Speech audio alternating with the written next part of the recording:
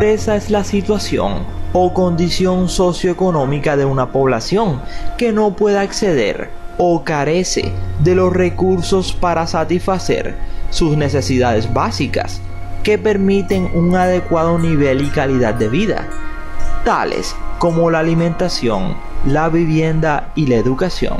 Muchos de los famosos que verás a continuación no fueron ajenos a esta realidad. La fama, la fortuna, el éxito, todo eso que hoy forma parte de la vida de estos famosos, no fue el ingrediente principal de su vida siempre.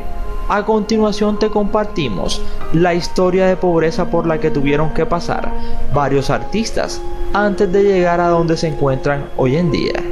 Descubre quiénes son, te aseguro que te sorprenderás. Como Juan Osorio, que limpiaba zapatos a los artistas y recogía el vestuario. Hoy en día es uno de los productores de telenovelas más famosos del mundo. Esto y más aquí en tu canal 007 Ernie Videos. Somos tu mejor opción. Gracias por preferirnos. Cada día somos más y tú eres nuestra estrella. Mis estrellas.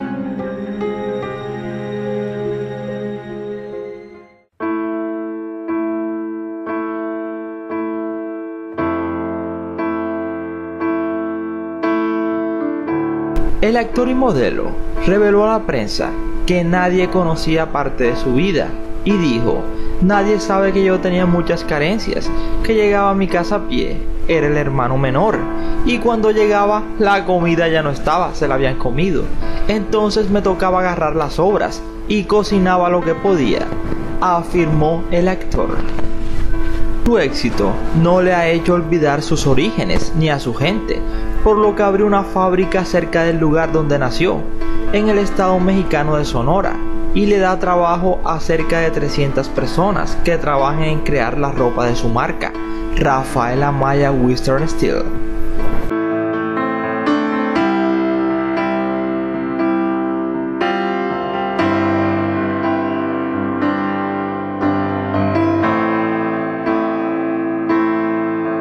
Johnny Lozada nació en el seno de una familia humilde en Caguas, Puerto Rico.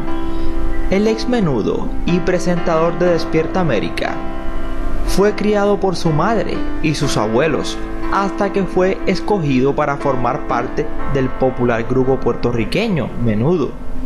Tras desarrollar una carrera como solista, actor y animador, Lozada ahora se está tomando un descanso de los reflectores para desarrollar su faceta de empresario. Que tengas buena suerte.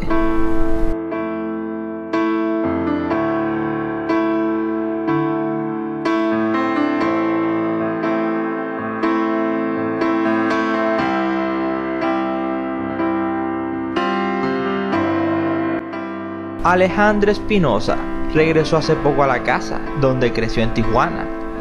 En su serie Whip, Ale, la de Tijuana, la primera ganadora de nuestra belleza latina y presentadora estrella de Univisión, enseñó la casa con piso de tierra donde pasó su infancia, la cual según ella fue muy pero muy pobre.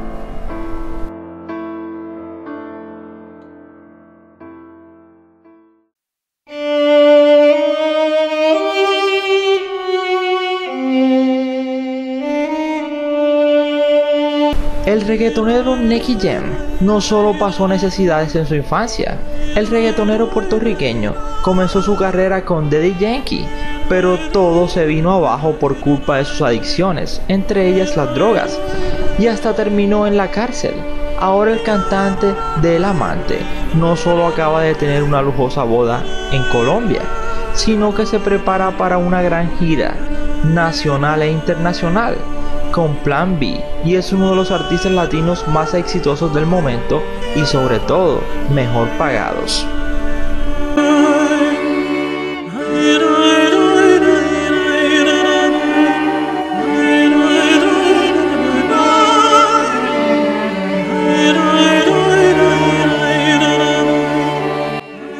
De niña Eva Longoria no tenía ni para comer y salía del rancho donde vivía de cacería junto a su padre a buscar el alimento. En la adolescencia trabajó como mesera y ahora se ríe de todas las carencias por las cuales pasó. Antes cazaba para comer y ahora encargo la comida y me la traen a la mesa. Riéndose dijo la estrella, recordando su pasado.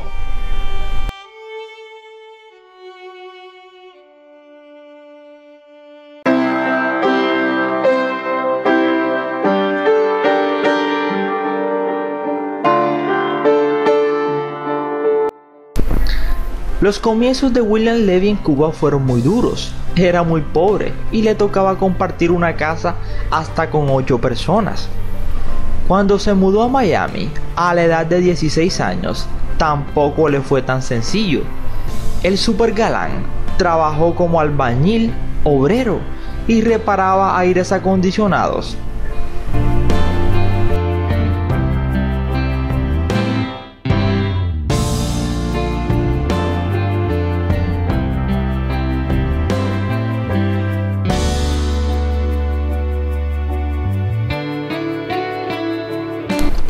A Bárbara Mori le tocó trabajar desde que era un adolescente. Cuando se mudó con su familia de Uruguay a México, la actriz no contaba con los recursos para emigrar cómodamente, por lo que tuvo que trabajar de mesera en una pizzería en el Distrito Federal, con tan solo 14 años de edad. Por esta razón dice no temerle a la pobreza, ni despreciar a la gente humilde.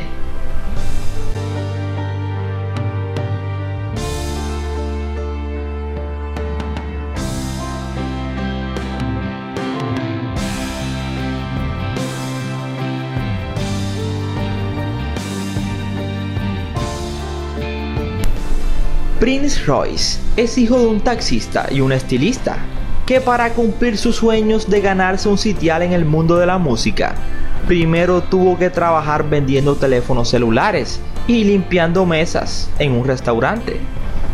Siempre habla de su pasado con sencillez y demostró que querer es poder. Felicitaciones Prince.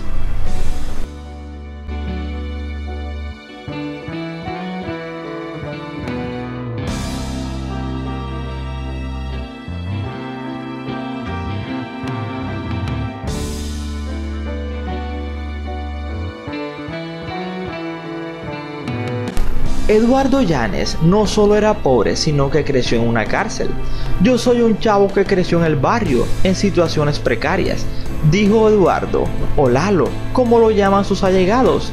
En El Gordo y la Flaca, un programa de televisión, él afirmó, mi mamá luchó muy duro por sacarme adelante, pero no siempre lo lograba indicó el actor quien además explicó que su madre trabajaba en una prisión en México y él allí pasó su niñez en los pasillos esperándola.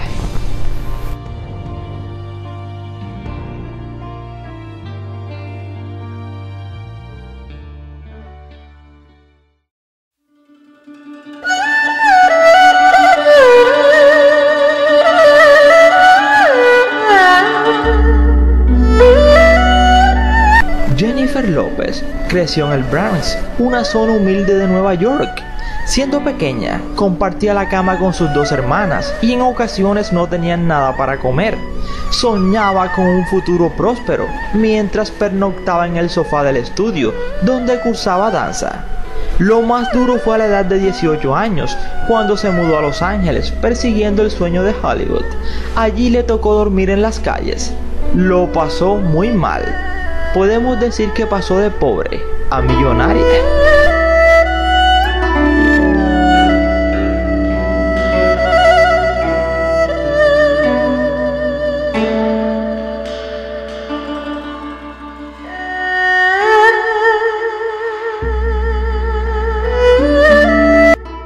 Juanes creció en un barrio pobre de Medellín, su ciudad natal en Colombia. En el documental de HBO, El efecto Juanes, enseñó el sencillo apartamento donde vivió con su familia, que consta de seis hermanos. El colombiano también se la vio negra cuando dejó su natal Colombia para irse a probar suerte a Estados Unidos. Y como cualquier inmigrante, llegó a Los Ángeles sin hablar inglés y con 4 mil dólares en el bolsillo. Rememorando aquella época, en que deambular con su guitarra era un hábito que lo ayudaba a soñar. La pregunta que hoy nos haremos es cuántas de sus canciones más conocidas habrá escrito en ese tiempo.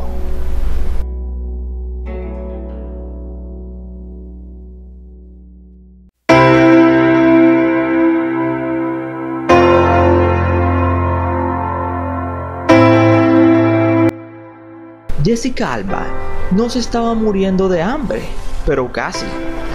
Su familia siempre tuvo preocupaciones de dinero cuando ella era pequeña. Además, tuvo problemas pulmonares de niña y fue víctima de bullying.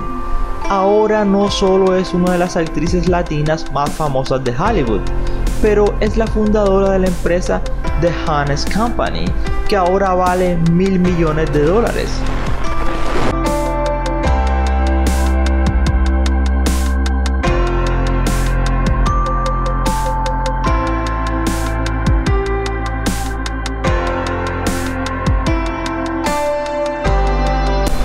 La infancia de Juan Gabriel fue muy terrible. Perdió a su padre muy joven, era hijo de campesinos y era el menor de 10 hermanos, y nadie quería hacerse cargo de él. Por eso cuando tenía 5 años, lo metieron a un internado, del cual se escapó a los 13, teniendo que vivir de las manualidades que aprendió, como artesanías y hojalatería. A los 14 regresó al hogar materno, donde se defendía vendiendo comidas mexicanas típicas junto a su madre y hermana. Pero el destino lo recompensó en grande gracias a su talento innato para la música.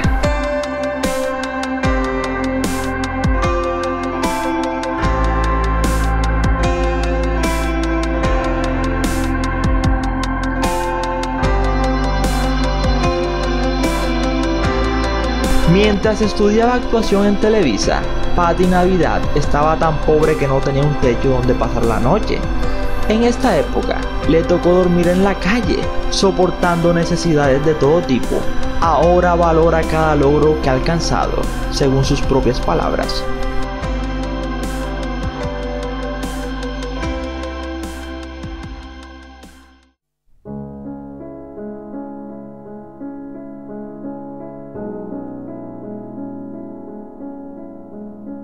José Luis Rodríguez el Puma era el menor de 11 hermanos. Su padre falleció cuando él tan solo tenía 6 años. Su madre tuvo que sacarlos adelante sola y el famoso cantante venezolano lustraba zapatos en un barrio humilde de Caracas para ayudar a llevar comida a su casa.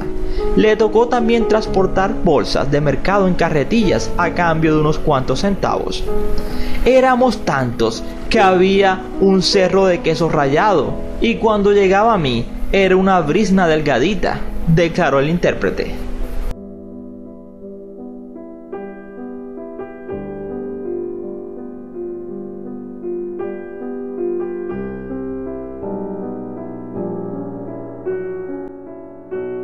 Joan Sebastián hablaba a menudo de su difícil infancia. José Manuel Figueroa, su nombre de verdad, nació en Juliantla, México, el 8 de abril de 1951 de niño la familia se mudó mucho por las dificultades de su padre con el trabajo, por lo que eventualmente él pasó a vivir con su abuela, que le inculcó la fe católica y hasta le apoyó la decisión de meterse en un seminario para convertirse en sacerdote. Su padre se opuso, alegando su gran talento para la música. Y tenía razón.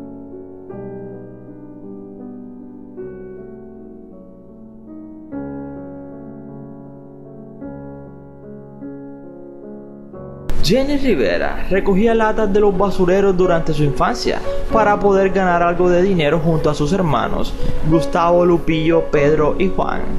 La diva de la banda contó en vida cómo sus padres emigraron a California, donde trabajaban como obreros y agricultores.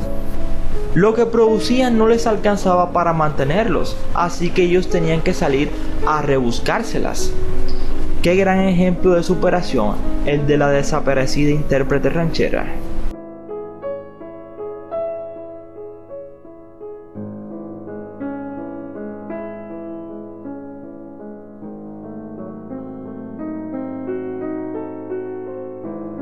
María Elena Salinas ha contado que creció en la mayor pobreza. Ahora tiene una increíble mansión y es una de las periodistas latinas más reconocidas en Estados Unidos.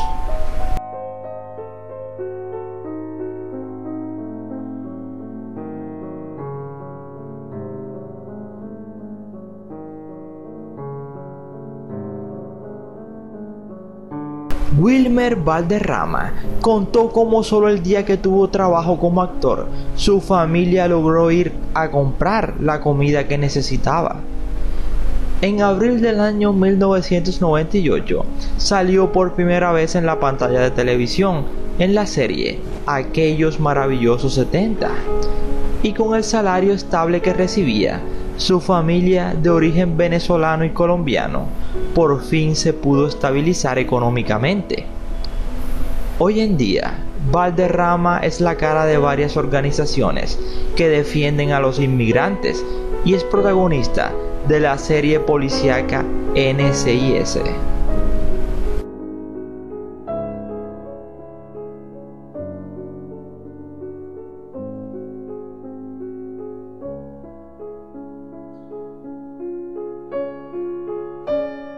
Emilio Estefan pasó penurias económicas durante su infancia.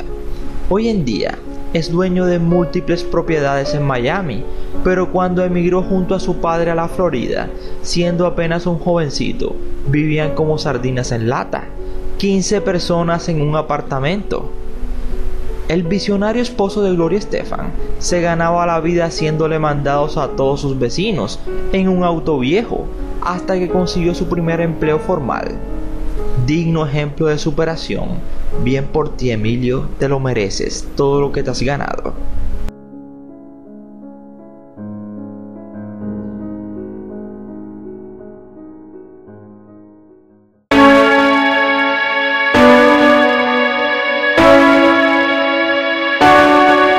A Vicente Fernández le tocó hacer todo tipo de trabajos pesados para poderse mantener. Él fue albañil, lavaplatos, cajero y mesero. El charro de buen titán no pudo culminar sus estudios de escuela primaria por falta de sustento económico, hasta que a los 14 años participó en un concurso de canto en Jalisco, cambiando su destino para siempre.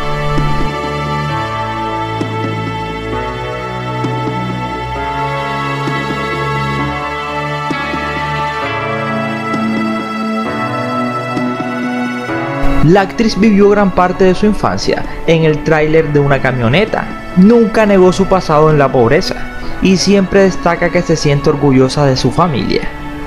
En una entrevista confesó que su madre llegó a endeudarse para poder comprarle medias, ya que la niña no tenía con qué abrigar sus pies.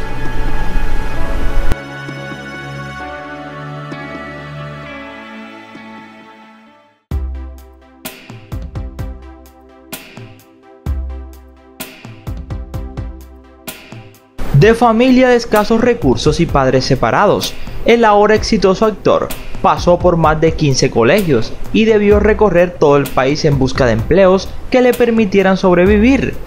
La infancia que tuvo no fue tan linda, fue muy dura debido a la inestabilidad laboral de su padre, quien nunca fue muy responsable.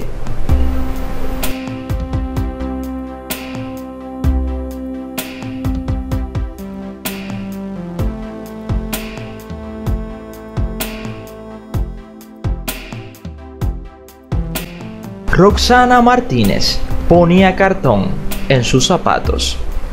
La modelo y actriz Roxana Martínez, mejor conocida como la Titanic, tampoco la pasó nada bien durante su infancia.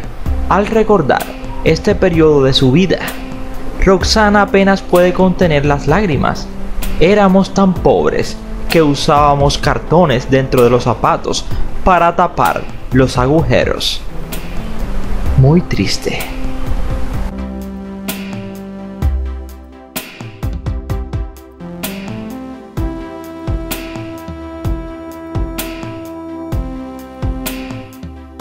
Juan Osorio limpiaba zapatos.